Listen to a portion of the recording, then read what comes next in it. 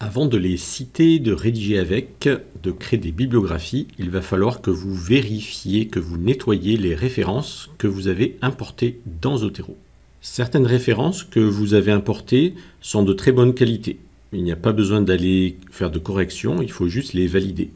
D'autres références, au contraire, sont de qualité variable.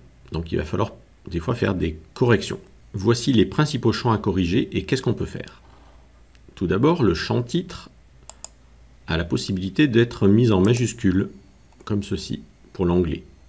Ensuite, on vérifie que les auteurs, quand ce sont des personnes, sont bien dans deux cases, la case du nom et la case du prénom.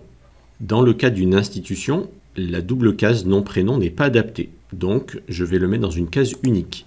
Parfois, les noms ont besoin d'être corrigés. Vous voyez ici, je vais enlever ces identifiants de date de naissance pour le numéro d'édition, première édition, deuxième édition, je vous invite à garder seulement le chiffre. Ainsi, si vous produisez la bibliographie en français ou en anglais, automatiquement Zotero va rajouter les petites particules après.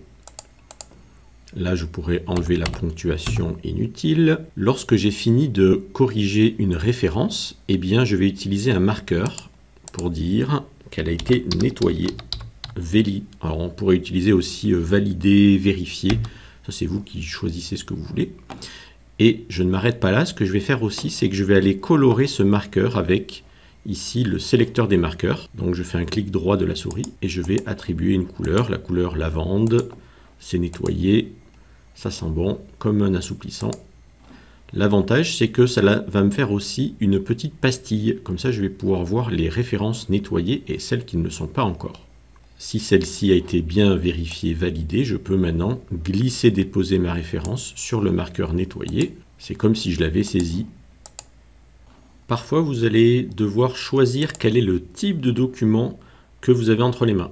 Parce que peut-être que Zotero a créé une référence de livre alors qu'il s'agit d'une thèse ou d'un rapport gouvernemental par exemple.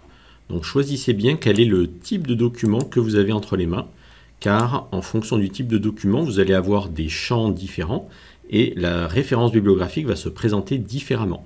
Petit conseil de bonne pratique de travail, ne nettoyez que les références que vous voulez citer. En effet, il est très possible que dans votre Zotero, vous collectionnez plein de références qui sont très intéressantes, mais en fait, vous n'en utilisez que très peu pour rédiger, peut-être 10-20%. Donc ne nettoyez que ce que vous citez.